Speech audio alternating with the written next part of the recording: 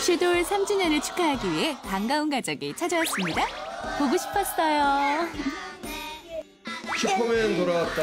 1년 반 슈퍼맨이. 돌아왔다. 아버지, 아버지 얘기할 때 조용히 해요. 아버지. 네, 저에게는 정말 있지. 야, 안녕하세요. 아, 아, 야, 야, 야. 아이고 진짜 이놈의 자식들이야. 똑바로 인사해야지. 자 차려. 안녕하세요. 만세. 만세. 만세. 기억이 하고 어때? 어느덧 슈퍼맨이 돌아왔다가 하나, 둘, 셋! 삼천년이 됐습니다. 삼천년이 됐습니다! 다음 주 그렇지. 만세 만세.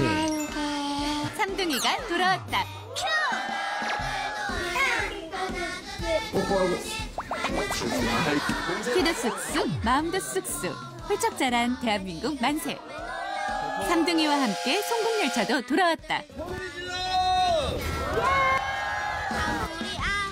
폭풍 성장 삼둥이.